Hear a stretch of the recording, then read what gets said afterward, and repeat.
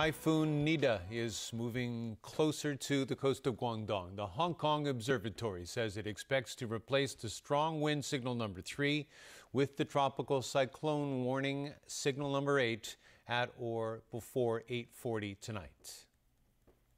According to the present forecast track, Typhoon Nida will be rather close to Hong Kong tonight to tomorrow morning. Its center will skirt within 100 kilometers to the northeast of Hong Kong.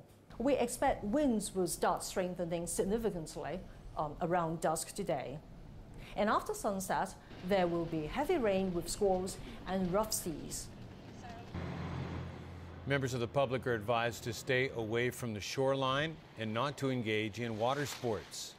Porch furniture, flower pots, and other objects that can be blown away should be taken indoors. And we cross over live now to Adam Shu, who is standing by at the outlying Islands Ferry Pier in Central. Adam, how's it looking out there?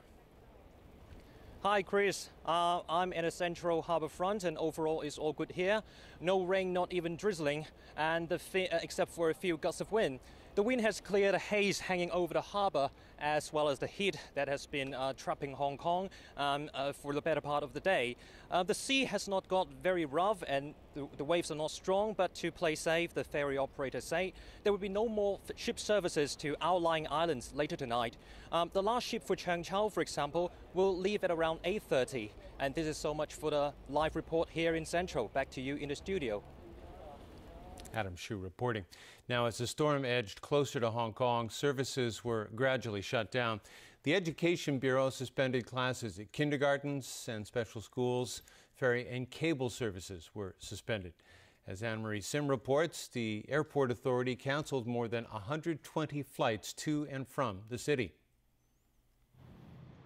This morning's calm before the storm, as ominous grey skies loomed over Hong Kong. The Hong Kong Observatory issued the strong wind signal number 3 at 11:40 this morning as Nida edged closer to the city. At lunchtime, Cathay Pacific and Dragonair announced that all departures and arrivals to Hong Kong International Airport from 10 p.m. today and 2 p.m. tomorrow would be suspended. The airline added that rebooking, rerouting, cancellation, and refund fees would be waived for tickets issued on or before today for travel from August 1st to 3rd.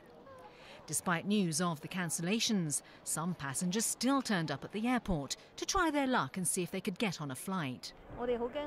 This traveller said she was worried that she would not get to Los Angeles in time for her son's graduation ceremony. While this man, hoping to get home to Taiwan, said he would have to stay at his friend's house now as his flight was cancelled. China Airlines said it suspended nearly 20 flights between Taiwan and Hong Kong. Some tour groups have found themselves stranded here too, like this one from Shenzhen, which was in Hong Kong for a connecting flight to Taipei. The tour operator said it would arrange for the group to get on the earliest flight out, but warned their trip may have to be cut short. The Travel Industry Council added that it was too early to say how many tour groups have been affected by the storm so far. The airport authority said as of 5 pm it had cancelled 120 flights to and from the city and urged passengers to check its website for the latest flight information before coming to the airport. As a safety precaution, the Education Bureau announced the suspension of classes at kindergartens and some special schools. Turbojet ferry services between Hong Kong and Shenzhen airports were suspended, while First Ferry stopped some inter island sailings at around 5 pm. Container port operations were also halted, while tourist attraction the Ngong Ping 360 cable car also suspended its service. Anne Marie Sim, TVB News. Now, it's important to note that Lei Yue Mun was one of the hardest hit areas during previous typhoons, and both the government and the public aren't taking any chances this time around. Caleb Leung has that story. As Typhoon Nida approaches, workers from the Drainage Services Department carried out flood prevention work at Lei Yue Mun, a location which sustained heavy damage during past typhoons. Some stores located near the coast also used their own ways to brace for the typhoon.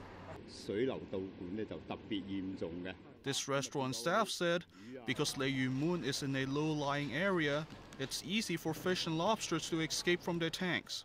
so this time they have finished their protection works 10 hours in advance. Fishermen also dock their vessels away from the shores to avoid any possible mishaps.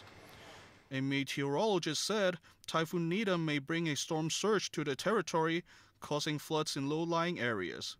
He expects the tide will begin to rise starting at midnight. The last time a serious storm surge affected Hong Kong was in 2013 when Typhoon Usagi hit Hong Kong.